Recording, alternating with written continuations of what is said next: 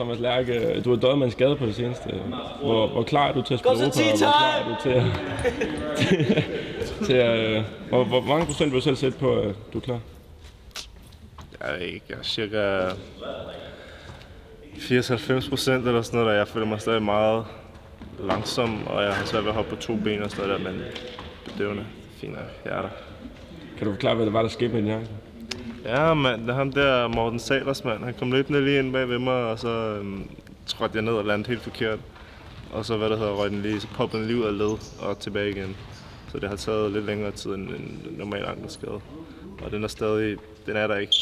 Den er ikke helt, som den skal være. Den hæver stadig ind i ledet og så videre, men øh, jeg er langsomt ved at komme tilbage på 100 procent. I skal I tager afsted til, øh, til Holland her på tirsdag. Øh, hvordan er stemningen omkring øh, holdet, og, og hvor meget glæder I til at spille Europa?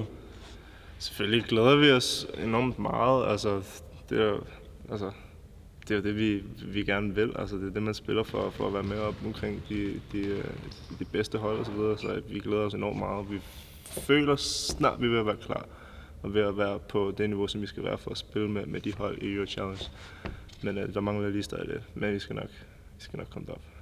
Hvor, øh, hvor gode chancer føler I har øh, til, til at kan man sige, lave noget larm i Europa? Det er svært at sige på nuværende tidspunkt, men jeg synes, det ser rimelig godt ud. Vi har lige det franske hold der, som de, jeg tror, de er rimelig gode. Jeg tror, de vandt over Julie og hold her den anden, øh, den anden dag.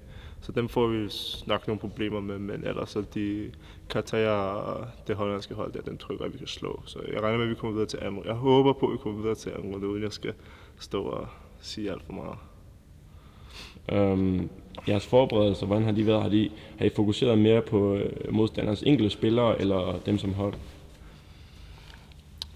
Først og fremmest så fokuserer vi os meget på os selv. Og så efter det, så fokuserer vi på altså bare holdet som helhed, hvordan de spiller, og hvad, hvad, hvad for noget hvad for nogle spillere de har, og hvordan de spiller osv. Det er meget, det, altså vi har, jeg synes, vi har rigtig, rigtig god scouting. Jeg synes, vores øh, coach, øh, jeg synes, han er rigtig god til at lave nogle gode gameplans osv. Så, videre, så vi er, vi er godt suited til at spille mod forskellige hold, vi nu har. Ja. Hvordan, øh, hvis du skulle sige på forhånd, øh, hvem I har bedst mulighed for at slå, og, og som sagt, du sagde, at Cholet for Frankrig bliver det sværeste. Øh, hvordan, hvordan vil du sætte jer selv i det her mix? Mm, altså, vi tager gerne bare lige en kamp på gangen. Vi skal ikke, øh, vi skal ikke begynde at tænke på Cholet, før vi har slået det hollandske hold her, vi skal møde. Men øh, jeg, synes, jeg synes, det ser lovende ud.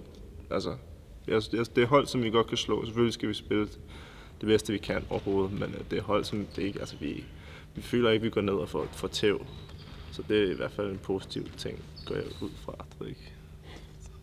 Da, da, da du skrev under med, med bakken, hvor, hvor meget havde Europa at sige der? Og, og vidste du, at I, I var 100% klar til at spille Europa? Hvad tænker du på? Øh... Da, da du valgte at komme til Bakken BS?